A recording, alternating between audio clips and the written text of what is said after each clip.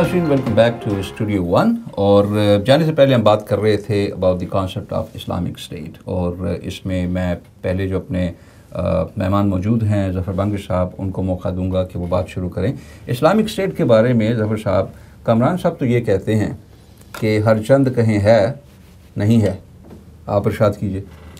देखिए, बात यह है कि अगर हम अपने आप को मुसलमान कहते हैं और हम इस्लाम को सीरियसली लेते हैं तो इस्लाम ने एक कॉन्सेप्ट पेश किया है, ये कुरान में भी है कुरान की आयत भी इसमें मौजूद हैं। और इसी तरह हुजूर सल्लल्लाहु अलैहि वसल्लम की सीरत और सुन्नत और हदीस हमारे पास मौजूद हैं। उसके मुताबिक हम जब स्टेट को, उसके स्ट्रक्चर को फॉर्मुलेट करेंगे तो that will become an Islamic state देखिए, उसमें सबसे इंपॉर्टेंट बात जो है वो ये है कि हुजूर वसल्लम के बाद ज़ाहिर है कि आप तो नबी थे पैगंबर थे आपको जो अहदा मैसर हुआ वो अल्लाह ताला ने अता किया। वो तो उसमें तो हम्म। इंसान का कोई अमल दखल था ही नहीं। लेकिन उसके बाद जो भी खलफा आए और वो खलफा जो हैं उस वक्त तक लेजिटमेट रूलर्स नहीं हो सकते जब तक कि अवाम उनको तस्लीम ना करें। तो एक तो कॉन्सेप्ट जो है ना इस्लामिक स्टेट में ये है। उसी के साथ ये भी है कि जो हाकिम है he is not above the law regrettably in today's world आप देखते हैं कि अगर कोई प्रेजिडेंट है तो कहते हैं so long as is the president you can't prosecute him ऐसी कोई बात नहीं है इस्लामिक स्टेट में। ये ये जो कॉन्सेप्ट है ना this is totally alien it's completely rejected by immunity यानी इम्यूनिटी कोई नहीं है, बिल्कुल एब्सोल्युटली मिसालें मौजूद हैं। इमाम अली के ज़माने में किस्सा हुआ आप खलीफा थे जब जज के सामने हाँ, पेश हुए किसी ने वेस्टर्न वर्ल्ड की भी जो डेमोक्रेटिक भी जो जो इम्यूनिटी है वो सिर्फ़ उस वक्त तक है जब तक वो सदर है या प्राइम मिनिस्टर है in the course of his duty उसके बाद वो भी इम्पीच हो जाता है वो भी ऐसी बात नहीं मगर तीन चीज़ें आपने मैंशन की। मैं और भी आगे हाँ चलता हूँ देखिए। हाँ इस्लामिक स्टेट में ज़ाहिर है कि कानून अल्लाह का ही नाफिस होगा। आप ये नहीं कह सकते कि जी आपका जो लॉ है वो तो आपने कॉमन लॉ लेकर लगती है जैसे पाकिस्तान में खिचड़ी बनी हुई है आजकल और जो मेस बना हुआ है पाकिस्तान में दरअसल direct result in fact in much of the Muslim world कानून से मुराद क्या है आपकी? देखिए अल्लाह ताला ने ये अहकाम कुरान में वाजे कर दिए हैं। बल्कि अगर हम देखें इस्लामिक हिस्ट्री को तो एक तरफ़ तो पॉलिटिकल लेवल पे तो there was total deterioration that took place but I would say कि इंटेलेक्चुअल लेवल पे मुस्लिम स्कॉलर्स जो थे they produced a vast body of literature वो हमारे पास मौजूद है we can analyse it we can extract things from from them Allah का कानून कानून सुन्नत हमारे पास सुन्नत मौजूद है और हदीस मौजूद है और उससे जो है जब आप एक्सट्रैक्ट सुन्नत तो सुन्नत है। जी। हदीस हदीस है। अल्लाह का कानून जो। आपने लफ्ज़ इस्तेमाल किया टर्मिनोलॉजी मैं आपसे पूछता हूँ आप बताइए अल्लाह का कानून आपके ख्याल में क्या है जो बंगे साहब कह रहे हैं? देखिए मैं फिर वही बात करूँगा जो पिछले हफ़्ते हो रही थी कि अल्लाह ताला ने मैं इसको थोड़ा सा मज़ीद सिंप्लीफाई हम्म, करता हम्म। हूँ अगर आप इजाज़त दें। जी जी बिल्कुल। देखें ये हमारा एक ईमान है बहसीत मुसलमान के जो कुरान और जो सुन्नत है हम्म। ये ता क़यामत तक के लिए ये अब आखिरी कॉमिनेंट है अल्लाह की तरफ़ से। अब इसके बाद मजीद कोई हिदायत नहीं आएगी कोई किताब नहीं आएगी कोई हाँ, नबी नहीं तो हिसाब किताब ही होगा। इसके बाद हिसाब किताब। तो अब अगर आप कुरान को देखें और हम्म। सुन्नत को देखें तो एक लिमिटेड नंबर ऑफ़ आयात हैं कुरान के अंदर और एक लिमिटेड नंबर ऑफ़ अहदीस हैं जिनको हम सही समझते हैं। अब सोचने वाली बात है कि लिमिटेड आयात और लिमिटेड हदीस जो हैं अनलिमिटेड रियलिटीज़ के बारे में आपको किस तरह गाइडेंस दे सकती हैं? वो इस तरह गाइडेंस दे सकती हैं कि अगर वो जनरल हैं अपने अपना मीनिंग के अंदर। यानी मेरा कहने का मकसद ये है कि कोई सेट ब्लूप्रिंट नहीं है किसी चीज़ का। कुछ प्रिंसिपल्स हैं आप उनको हर दौर में इंप्लीमेंट कर सकते हैं उस दौर की ज़रूरियात को देखते हुए।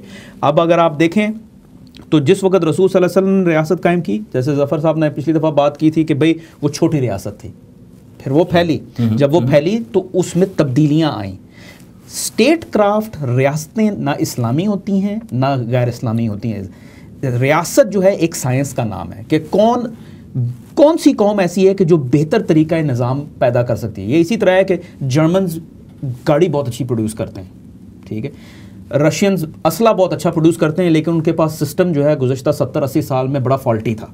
निज़ाम जो है इसी वजह से मैं कहता हूँ कि निज़ाम जो है वो सेक्युलर है क्योंकि वो एक जो स्ट्रक्चर जो ढांचा है वो ह्यूमन साइंस है। अब उसको आप अगर मुसलमान हैं तो आप अपने कल्चरल रिलीजियस वैल्यूज़ के मुताबिक ढालेंगे। लेकिन वही स्ट्रक्चर जो है जो उसका जो एसेंस है वो दूसरे उसको कर सकते हैं। आप देखें ईरान की बात इन्होंने पिछली दफ़ा की। ईरान जो है एक पार्लियामेंट्री डेमोक्रेसी है अपने एक लेवल पे। उसके इर्द गिर्द जो चीज़ें हैं वो उन्होंने लगा दी हैं लेकिन वो इरेनियन पार्लियामेंट्री डेमोक्रेसी है। करेक्ट वो वो नहीं है जो अमेरिका में है वो वो नहीं है जो यूरोप में है. तो कहने का मकसद ये है कि रियासतें जो हैं अपने जो है ना असल में वो ना इस्लामिक हैं ना अन इस्लामिक हैं। तो ये बहस जो है बड़ी फजूल है। चीज़ें जो आपकी इस बात से मैं अखज कर पाया हूँ और मैं उन्हें अब प्रेजेंट करूँगा बंगिश साहब को कि ये क्या फरमाते हैं इस बारे में। तीन चीज़ें हैं। बेसिकली एक तो हो गई आपके कॉन्स्टेंट जो आपने कहा कि जी कुरान में जो लिमिटेड कॉन्क्रीट चीज़ें क्लियरली डिफाइन कर दी गई हैं वो तो कांस्टेंट हो गया जी। अब आते हैं आगे उसके वेरिएबल्स वेरिएबल्स वो हैं जो ज़माने के साथ साथ बदलते जाएँगे जिसके लिए आपको इश्तहार की भी कोई इतनी ज़रूरत नहीं होती। आपको समझना है इंटरप्रटेशन की बात है पहली। उसके बाद आ जाते हैं बेसिक फंडामेंटल चीज़ें जिसको अब आपने ज़माने के साथ बदलना है और इश्तहाद करना है। अब ये तीन चीज़ें हैं। इन तीन चीज़ों की मौजूदगी में क्या इस्लामिक स्टेट कंप्लीट हो जाती है या कोई और भी चीज़ें रह जाती देखिए हैं? देखिए आपने जिस तरीके से इसको एनालाइज किया मुझे उससे इतफाक़ नहीं है। सबसे पहली बात तो यह है कि अल्लाह ताला के जो अहकाम हैं वो अटल हैं। वो ना आप डिटरमिन कर सकते हैं ना मैं। वो कुरान में मौजूद वो हैं। उस पर बहस नहीं हो रही। अच्छा। वो तो हो गया ना जैसे। जी हाँ ठीक है। देखिए बात यह है कि आपने इन्हीं उसूलों को अप्लाई करना है सोसाइटी में। मसलन आप देख लें इस्लाम कुरान को पढ़ें तो बार बार जस्टिस का कौन जस्टिस नहीं बल्कि अदल। Justice is very technical term अदल is a much broader term मतलब equity exactly it's much broader कि भी देखिए आप अदल को सिर्फ़ मैकेनिकल जस्टिस के तो उस पर नहीं कर सकते उसमें सोशल जस्टिस होगा economic political all of these factors comment Quran ने एक और कॉन्सेप्ट दिया है किस्त का। किस्त का मतलब है बैलेंस मेंटेन करना सोसाइटी में। आजकल के मसलन आप देखते हैं कि अमेरिका को देख लें two percent of the population controls eighty five percent of the wealth you know हालाँकि it's a democracy it's the biggest most powerful democracy in the world and so on मतलब कि ना ये जो चीज़ें हैं ना these are problematic these are very very problematic because the the way these people have evolve their system is to serve the elites of these societies जबकि इस्लाम का जो कॉन्सेप्ट है उसमें आप देखते हैं कि the elite of the society are and should be the servants of the people. Correct लेकिन उसमें एक्यूमुलेशन ऑफ़ वेल्थ की तो कोई उसमें पाबंदी नहीं है इस्लाम में। है? देखिए मैं बताता हूँ आपको। आप अगर देखें हुजूर सल्लल्लाहु अलैहि वसल्लम की सुन्नत कोई देख लें। आपने कभी अपने आप को ना ना आपने दौलत इकट्ठी की हालाँकि जब हुजूर सल्लल्लाहु अलैहि वसल्लम की शादी खदीजा रदी अनहा से हुई तो मतलब कि वो तो बहुत ही अमीर खातून थी बहुत दौलत तो, तो, तो इस मिसाल इस मिसाल के लिए हम हजूर वसल्लम के सहाबा को देखते हैं ना। जी।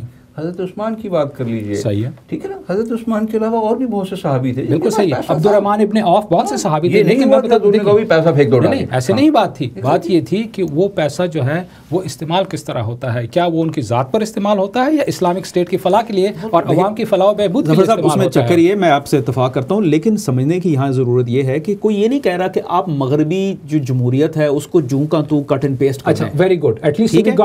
है? ये कोई आपसे नहीं कह रहा। एक जमहूरियत जो है। वो जो डब्ल्यू बी गैली एक जो है इंग्लिश जो है थिंकर हैं उन्होंने कहा था कि democracy is a contested concept किस जिस तरह हम कहते हैं कि भाई हम जो हैं इंसान हैं और जो है कोई जानवर है ये इस तरह का फ़र्क नहीं है।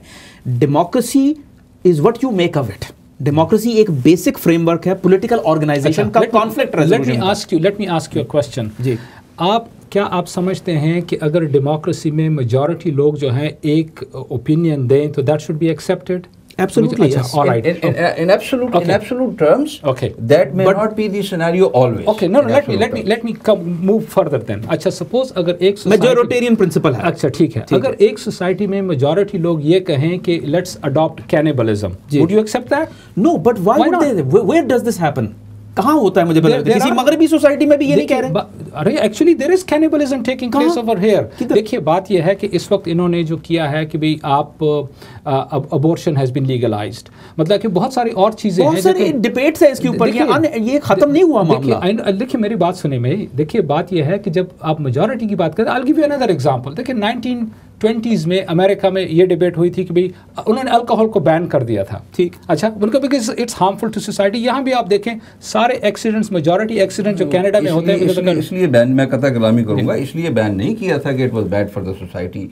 इसलिए बैन किया था कि the business was in the hands of a few वो बात और थी। देखिए बात यह है कि अभी भी जो है ना मसलन उन्होंने अब टबैको को नहीं बैन किया है मतलब अभी अल्कोहल को दोबारा उन्होंने वो किया है। फैक्ट्री है ना जो बना रही देखिए बात यह है बात यह है कि देखिए अगर आप कहते हैं कि भी alcohol is bad for you मतलब कि that was the argument that was presented whatever the rationale behind it is a different issue लेकिन एक्सक्यूज मी कि alcohol i mean i think we can we know i mean we, we know this scientifically in every way that alcohol is bad for you. acha then how come the, the same alcohol then became okay then it's okay that you can drink now in in society. इसी तरह वो कहते हैं कि जी smoking is bad for your health लेकिन ज़फ़र साहब इसमें मैं आपकी बात से इतफाक करता हूँ लेकिन ये इतना cut and dry black and white नहीं है। मामला ये है कि आपकी कल्चरल वैल्यूज़ क्या हैं? देखिए जुडेओ क्रिश्चियन हेरिटेज इवॉल्व हुई है रेनेसांस रेफॉर्मेशन इनलाइटनमेंट है। उसके बाद ये एक किसी जो है ना नतीजे पे पहुँचे हैं।